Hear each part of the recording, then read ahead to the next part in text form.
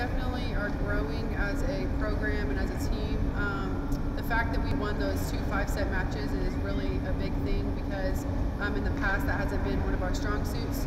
So I'm really proud of us for being able to um, come back and win those. With that being said, we have a lot of work to do on not letting, letting the teams come in and get those runs that really hurt us in the, um, I guess it was the fourth and fifth game there.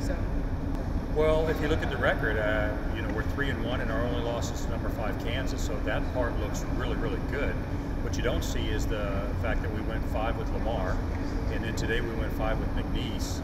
And uh, both of those games, I think we were we were either up 2-0 on well, two, up 2-0 today, and then the, one of the probably the toughest team of the three, Eastern Washington, we swept them. So uh, we're not hitting on all cylinders, even though we started a 3-1 record. We've got to got to get more even production from all of our players.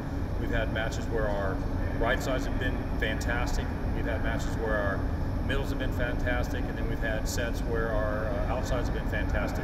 But we haven't had the match where all of them have been fantastic at the same time. So we're we've got some work to do. But uh, you know, four days into the season, and we're three and one with a tough match against Kansas. and We played our hearts out. So uh, overall, I'm, I'm pleased with where we're at.